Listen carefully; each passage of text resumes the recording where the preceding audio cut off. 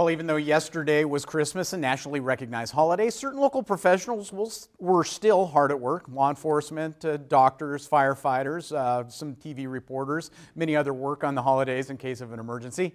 Uh, we sat down with a nurse from Bozeman Health's emergency department and an officer with Bozeman Police who say they've learned to treat Christmas as the season rather than a specific day. You know, patients need care 24 7 and they are always here and so that's part of the job is just like police or EMTs, or paramedics that you have to be there for people when they need you. We get used to having to move our schedule around a little bit. So you may not be able to do it on Christmas Eve or Christmas morning. You may have to delay it a little bit. But um, the officers are really good about making that work. And you know, it's not just the officers, but it's their wives, their families, their husbands, uh, of uh, it's a whole family thing of being able to do that and make it work.